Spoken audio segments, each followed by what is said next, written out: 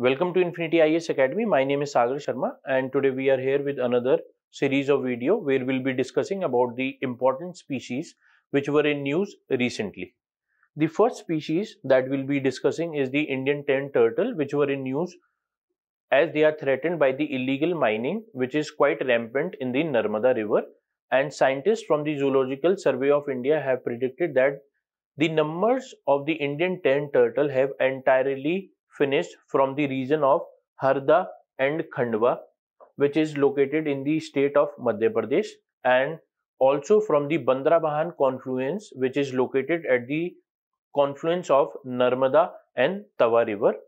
These turtles are listed in Schedule 1 of the Wildlife Protection Act 1972 and the IUCN status of the turtle is least concern.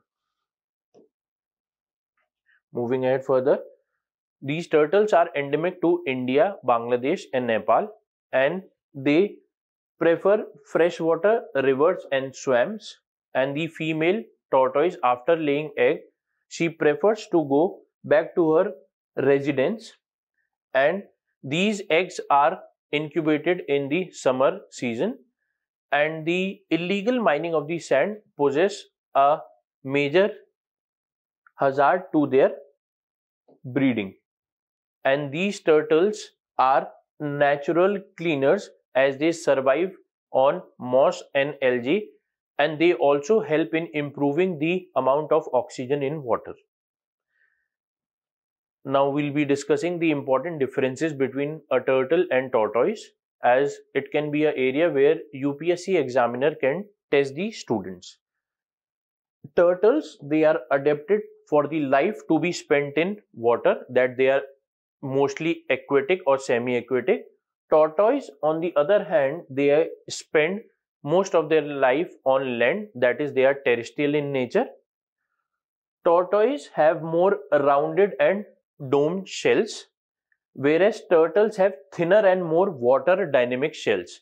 And these shells they assist in swimming. Turtles they are mostly omnivorous and tortoise they are mostly herbivorous. Turtles have a shorter lifespan which is around 20 to 40 years whereas tortoise usually have a longer lifespan from 80 to 150 years. Turtles, they are generally larger than tortoise. And as the largest turtle that is the leatherback turtle weighs around 300 to 700 kg. And the largest tortoise which is the Aldabra giant tortoise it weighs around an average weight of 250 kg and this is the important statement that you need to remember. All tortoise are turtle as they belong to testudines order or Chelonia reptiles. And these reptiles have their bodies encased in a bony shell but not all turtles are tortoise. Please remember these statement. The next species that we'll be discussing is the Asian elephants. These are the largest land mammal on the Asian continent and the World Elephant Day is celebrated on 12th of August and this day is celebrated in order to highlight the plight of the Asian and the African elephants both. These species they prefer dry to wet forest and grasslands and students elephants are mega herbivorous so they need large area that is large forest which are fully equipped with water. And there are about 26000 elephants that are remaining in india. And the exact number according to the last census is 29964 elephants. The last census was held in 2017 and the elephant census in India is held after every 5 years whereas the census for tigers is held after every 4 years.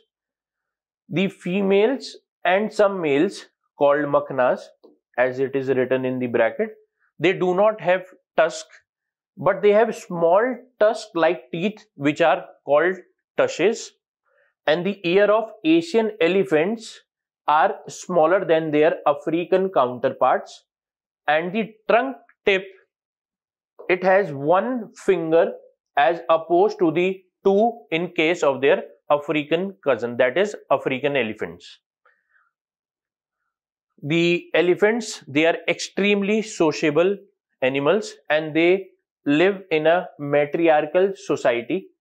And these large extended families are called clans which consist of smaller subunits called kin groups and the family units. And the single calf which is born after a gestation of 18 to 22 months is nursed for 2 to 4 years. Please remember this. And the calf is naturally attached to his mother as it is case with the human beings also. But here the other sub-adult female in the group they also care for the calf and this is known as allomothering the elephants in this case both males and females they can live up to 60 to 70 years.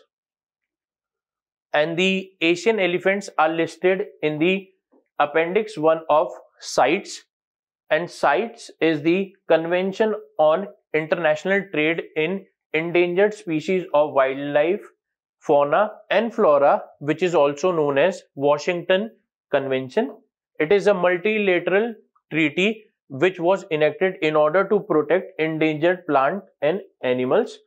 And in this there are appendixes where the animals or the species they are listed in this appendix so that a degree of protection can be according to these species.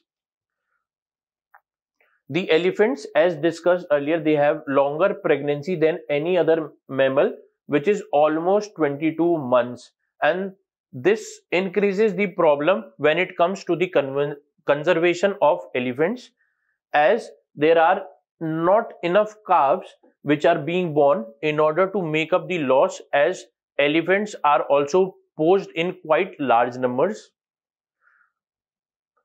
Now we'll discuss about the African elephants and they are the cousin of Asian elephants.